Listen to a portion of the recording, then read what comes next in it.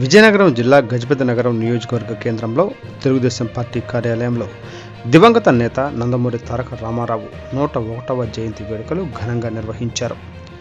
నియోజకవర్గం ఉమ్మడి అభ్యర్థి కొండపల్లి శ్రీనివాస్ నందమూరి తారక రామారావు చిత్రపటానికి పూలమాలలు వేసి నివాళులు అర్పించారు. ఈ సందర్భంగా ఆయన మాట్లాడుతూ తెలుగు జాతి ఔన్నత్యాన్ని ప్రపంచానికి చాటి చెప్పిన ఘనత నందమూరి తారక రామారావు గారికే దక్కుతుంది అని అన్నారు. ఆయన అడుగుజాడల్లో యువత నడవాలని కోరారు.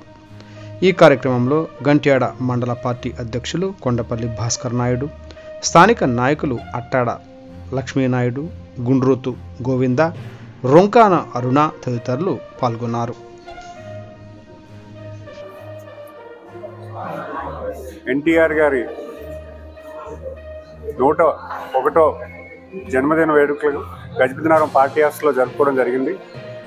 గజపతినగరం నియోజకవర్గం నాయకులు కార్యకర్తలు అందరూ కూడా కలిసికట్టుగా ఇక్కడ రావడం చాలా సంతోషకరమైనది. ఈరోజు ఆయన పుట్టినరోజు సెలబ్రేట్ చేసుకోవడం పార్టీ తలకు ఐక్యత చూపిస్తూ ప్రతి ఒక్కరూ కూడా ఆయన పుట్టిన పుట్టినరోజు వేడుకల్లో పాల్ పాల్గొనడం చాలా సంతోషంగా అనిపిస్తుంది. మరి ఈరోజు ఆయన గురించి చెప్పుకుంటే చాలా విషయాలు చెప్పుకోవాలి. తెలుగు తెలుగువాడి ఔన్నత్యం తెలుగువాడు గొప్పతనం చాటి చెప్పిన మనిషి.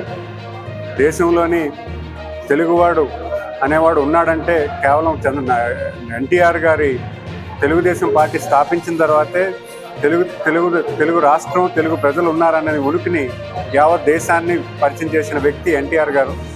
మరి అలాంటి వ్యక్తిని ఈరోజు మనం స్మరించుకుంటూ ఆయన పుట్టినరోజు వేడుకల్లో పాల్గొనడం అంటే చాలా సంతోషకరమైన విషయాన్ని భావిస్తూ విచ్చేసిన అందరు కార్యకర్తలందరికీ కూడా పేరు పేరున ధన్యవాదాలు తెలియజేసుకుంటూ అందరికీ అభినందనలు